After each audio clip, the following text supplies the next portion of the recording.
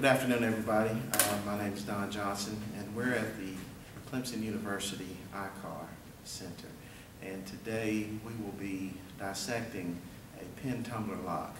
Um, And the group seven members include, Sungmin Ko, Qilun Ju,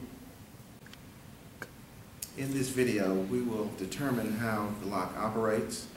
Uh, We will just also determine how we would redesign the lock, um, so the lock, uh, to make it easier to manufacture and assemble. Um, We also determine how we would open the lock without damaging it, uh, without a key. Shown. Uh, Also, we will evaluate uh, the device and explain its strengths and weaknesses. Um, And uh, finally, we'll have uh, suggestions, um, changes to the design of the lock.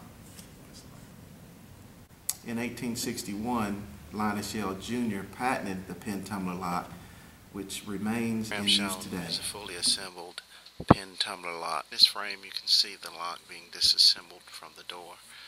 First, we have the um, the lock screws, um, the actuator screws, uh, the housing cone, the cylinder, and finally the bolt. In this frame, we see the cylinder and the cylinder is the outer piece of the lock that houses the upper pin chamber. As the pin cover is removed, uh, exposing the springs, uh, the cylinder, and the plug, uh, you can see the pins as well. Right now I want to break down each um, portion of the lock and kind of explain what it does. Uh, first we have our tumblers, and the tumblers are the key pins that are touched by the keys, and they are sized differently, uh, corresponding to the different depths cut in the key. And when the correct key is inserted, all the key pins will be aligned, and it will create what is called a shear line, allowing the plug to rotate. Next we have the pins, and the pins are placed between the tumblers and the springs, and in their resting position, the pins block the rotation of the plug. The Plug is the inner piece of the lock that rotates upon insertion and tension of the correct key. Uh, the plug is uh, connected to the cam to actuate the bolt mechanism when rotated. The Cam is an extension connected to the back of the plug which actuates the bolt mechanism to lock and or unlock the door. Frame we see the plug uh, and the cam being extended, the fork shaped uh, end of the plug, uh, we see the key and we see the tumblers that sit on top of the key. We also see the uh, C-clip or C-clamp that uh, helps lock the uh, plug into place. Is uh, the locking bolt, and it actually locks um, into the out of the door into the wall, and also the lever that actually keeps the bolt locked in place. Fully disassembled the pin tumbler lock. Um, now in this frame we can see the uh, reassembling of the um, plug, the cam, uh, the tumblers, and the C-clamp. We have the uh, reassembling of the plug back into the cylinder, uh, the C-clamp, uh, the pins going into the cylinder and the springs, finally the cover being administered. In this frame we have the uh, fully assembled pin tumbler lock being reinserted back in the door, uh, starting with the bolt, locking bolt, uh, the cone housing cones, uh, the cylinder, and the screws. In this slide we kind of wanted to um, show some of the design features of the pin tumbler lock, uh, which makes it a pretty uh, remarkable design. Um, see the key being inserted into the plug and how the uh, pins are kind of sloped or machined to have a slope so the uh, metal slides uh, clearly back and forth over the pins.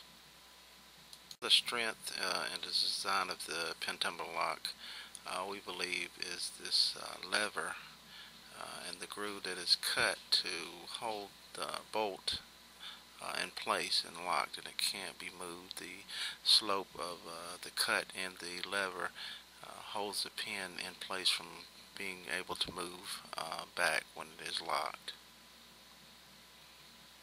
This project, uh, we were asked to determine a few questions, and one was to determine how we would open the lock without damaging it if we didn't have the key. Uh, two, uh, to determine the how we would we redesign the lock to make it easier for manufacturing and assemble, and to evaluate its strengths and weaknesses. Uh, first, uh, we'd like to uh, explain how to open the lock without a key and without damaging it, and that would be by picking the lock. Um, that consists of a, a pressure wrench to slide in, holding uh, the pins down, and sliding a uh, paper clip or a picking tool to move the tumblers into position. Next, we wanted to um, evaluate the strengths and weaknesses of the lock. My colleagues on Team 7, we discussed this in detail, and we believe that the uh, weaknesses one was the easiness of uh, picking the lock and getting it open, and also the intricate parts, the number of parts uh, that were inside the lock that made it difficult uh, to reassemble. We believe the strengths, um, uh, one was the simplistic design that has stood the test of time and hasn't too much uh, varied from the 1800s uh, after it had been patented all the way up to today's locks. After discussion uh, the weaknesses of the lock, uh, we came up with several ideas uh, how to redesign the lock. And one was to have a cross-shaped key, and this would uh, alleviate the problem of uh, picking the lock, uh, which is fairly simple. Um, this would uh, entail pins on each uh, section, four corners of the uh, lock, and that would eliminate being able, one person to being able to pick the lock. We also discussed the material of the pins, which is copper, um, which is a soft metal, and we believe uh, by making the pins uh, titanium, uh, stronger metal, um, this would enforce, reinforce the lock a little bit better than the copper. Um, also, uh, we suggested that we make the the springs a little bit stronger. Um, they're rather uh, flexible and make them a little bit stiffer so you can't slide a tool up and move the tumblers. This concludes our presentation from Team 7. Thank you for your time and your patience.